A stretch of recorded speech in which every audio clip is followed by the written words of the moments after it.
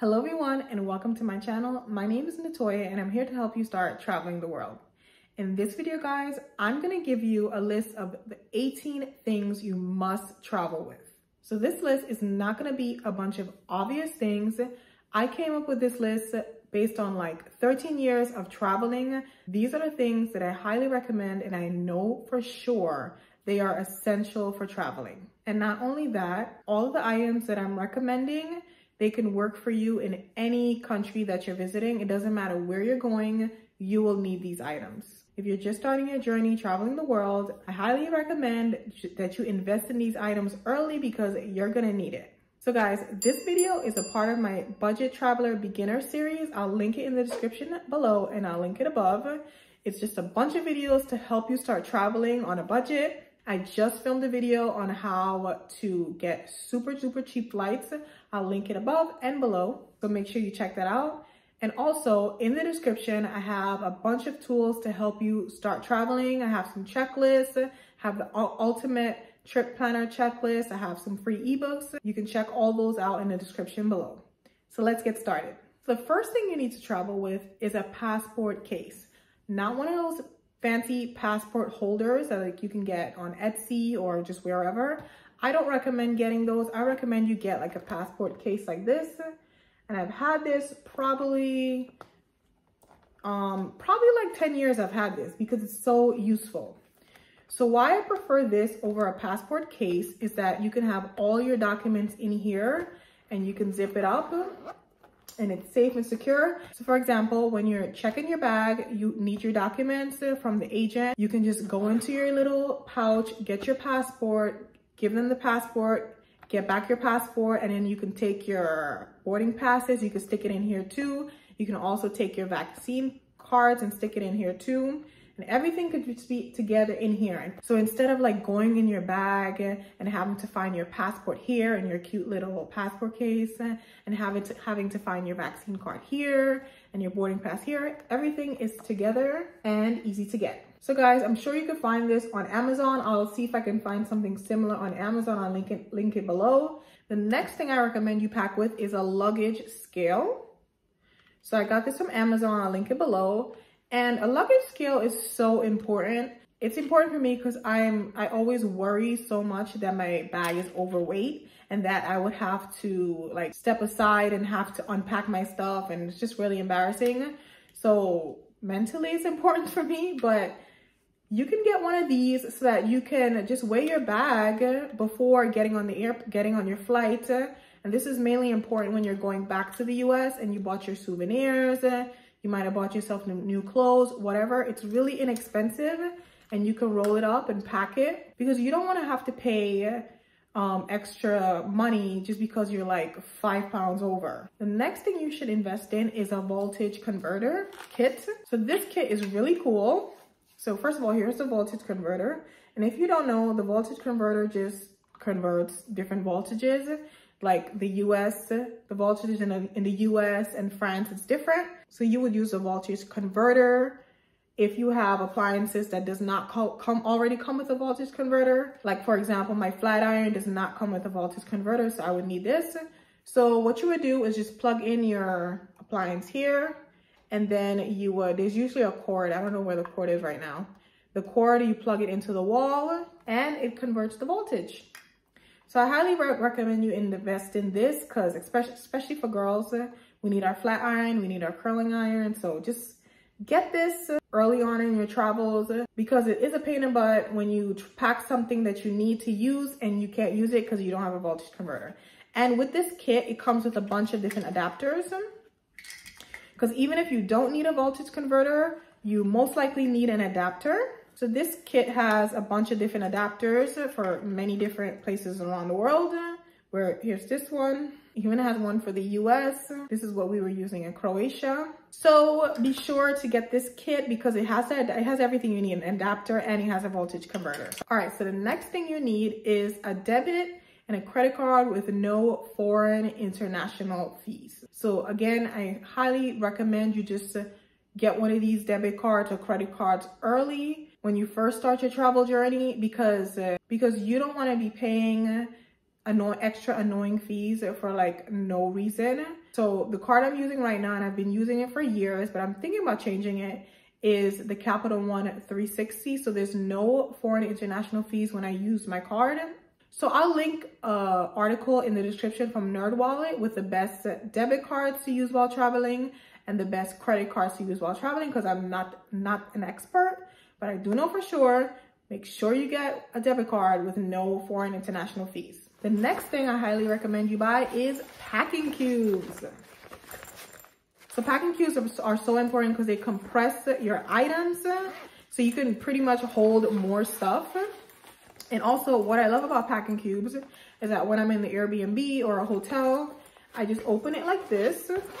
I'll show you. And I'll put the top on the bottom and I can just put it in the drawers. I can open it like this and put in a drawer like this so it doesn't touch the shelf. And I just take out what I need. The next thing you need to invest in is a day bag that you'll love. So I really want to stress this that you need a day bag or if your thing is a backpack, you need something that won't drive you crazy when you're traveling. It needs to be the right size. It needs to be comfortable to hold. Um, for me, it's important that I have a lot of pockets. I can hold everything. So with this bag here, and this is just from Target, but I've been traveling with this bag for two and a half months now. Is the only bag I've been using for two and a half months. Um, and I'm gonna continue traveling with it. I can pack everything in here. So hand sanitizer, my face mask, a little bottle of water, my cell phone. Um, now I have to travel with my vaccine card. Literally, I can pack everything in here and there's lots of pockets to stay organized pocket here too. And if I can, I'll link this in the description or I'll find something similar on Amazon. The next thing that's important and similar to my day pack is a travel bag. So here's my travel bag. I just got this from Amazon and I love it. So what I love about this is that it has many different pockets to help me stay organized and not like have a meltdown at the airport because I can't find something. Yeah, because sometimes when I'm at the airport, especially JFK, and the agents, they have an attitude for some reason and they ask me for something and I need to quickly find it. I know exactly where it is and it's just easy to carry. I just go like this and I can carry all of my documents. I have a folder here. It's room for my laptop. I can just literally carry all the things that are important to me. I highly, highly recommend that you invest in a good travel bag, just like this one here. And I'll link it below. I just got it from Amazon. It wasn't very expensive. Then I take my little pouch here. And if I know I'm gonna need it in like a second, like when I talk, when I go to one agent and I'm waiting to go to at, to the other agent at security, I just take it and I put it right in here in the front pocket here so I can easily grab it. And then when I don't need it for a while, I'll just take it and I'll stick it in the bigger pocket inside, one of the many big pockets inside. So the next travel item you need is like a cover up a shawl or scarf or just something to cover you up when you're going into a holy place. So this is especially important like during the summertime and you're wearing a spaghetti strap shirt or you're wearing like a short skirt or a short pants you want to be able to have something that you can roll up mm-hmm. tight and hold it in your bag, like your day bag. That, that can perfectly fit in here. Like a scarf that you can roll up tight and hold it in your bag for when you go somewhere holy, like a cathedral. And then when you get there, you can take it out of your bag and just cover yourself with it or wrap it around you if you're wearing shorts because some places won't won't let you in. So for example, when we were in Zadar, we went to a cathedral and my niece, she was told she couldn't go in because she was wearing super short shorts and a spaghetti strap. But luckily, there was a, a traveler there, a lady. She heard what was going on and she had a shawl stuffed in her bag and she gave it right to my niece. So be sure not only to pack it, but to travel with it and have it in your day pack. The next thing you need to travel with is a mini sewing kit. This is very important because if you're like me and you, you're traveling with, you're not traveling with a lot of clothes, your clothes might get some wear and tear and you might get a little hole and you need to sew it up. So I've used this a few times and also in the kit, it comes with some needles and some like, and it comes with um buttons in case a button falls off. And I got this right from the Dollar Tree. It's just a dollar. It was so useful. It's a lifesaver. So make sure you get one of these sewing kits. I'll link one on Amazon if I see it. The next thing you need to travel with, and you can get it right from Dollar Tree, is an emergency kit, like a mini emergency kit. So we have one the same size as this. It's just a tiny kit that comes with um, alcohol wipes, uh, band-aids, and just a bunch of other little things you'll need. And it's so light to travel with. So be sure to get a mini emergency kit. Like I said, you can go to right, right to Dollar Tree or you can buy one from Amazon. So the next thing you need to travel with, you need to invest in is a portable cell phone charger. So I won't state the obvious, but it's not a good idea to have a phone go dead when you're in a foreign a foreign country. I've had that experience before when I was traveling in, in Taiwan and my cell phone went, went dead and I was literally like in the middle of nowhere and it was just a mess.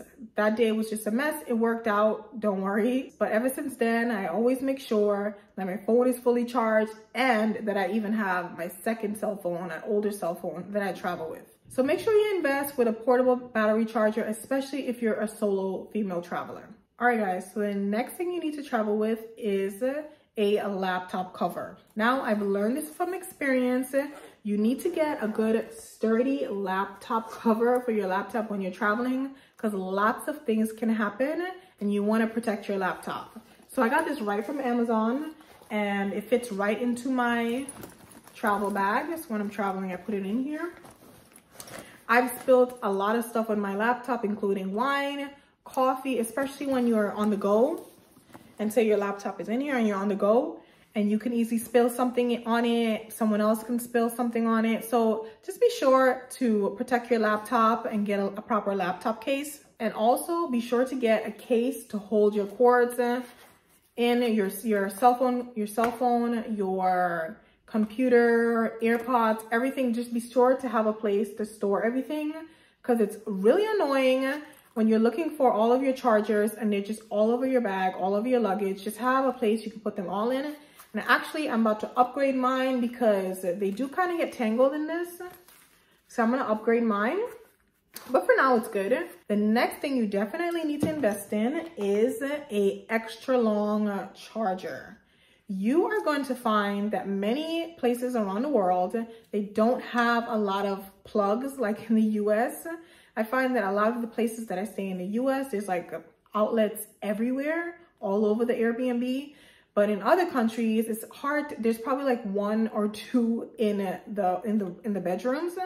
So having an extra long, I can't remember how long this is, but I'll link it below. So having an extra long cord like this will help you if you're in a situation like that. I highly recommend you invest in one of these. The next thing I recommend you travel with is your favorite spice or ingredient or just something that has to deal with food. So I've learned from years of traveling that it's so important that I travel with. This is curry powder. And this is something I decided that I'm always traveling with. I'm Guyanese and I need my curry and this is very important to me. And I'm traveling with my sister and her kids. So when it's time to have some a familiar dish, some familiar flavors from home, my sister, she's the cook, so she makes some curry. So go to the Dollar Tree and put your favorite spice in like a in a container you get from the Dollar Tree, whatever you want to do, but just make sure you travel with your favorite spice, your favorite ingredient. If that's Tabasco sauce uh, or sriracha sauce, whatever, just make sure you travel with it because it'll help you with cravings and even homesickness. So the next thing I think you should pack is a Kindle. So I'm not gonna lie, I haven't been reading a lot um, over the past couple of months. I've gotten more into Audible and listening to audiobooks but I highly recommend you invest in a Kindle so that you don't have to carry around a whole bunch of books with you. I bought my Kindle like five years ago. It's like an older version and it still works. So it definitely is a good investment. So whether you choose to have a Kindle or have an Audible subscription, whatever you decide, make sure you invest in that early because you will need it. It is a useful tool. The next thing you need to invest in is a good carry-on luggage and a good check-in luggage. You need to invest in a good one early. You don't want to have to buy three, four, five uh, luggages. Just invest in really good ones early so you can have it for a long time. I just recently bought, bought this luggage set from Amazon and it had it has really, really good reviews. I'm still kind of deciding if I like it. But before this, I had a luggage, a, cat, a check-on luggage set that my mother bought me that I had for like five years. It's been all over the world with me. And it was just a really, really good investment. So if you're deciding to buy luggage, I recommend you get, you buy a carry-on and a check bag. And you can even get a, with that set, you can even get a travel bag like the one I have here. You can even get that set too. So do your research.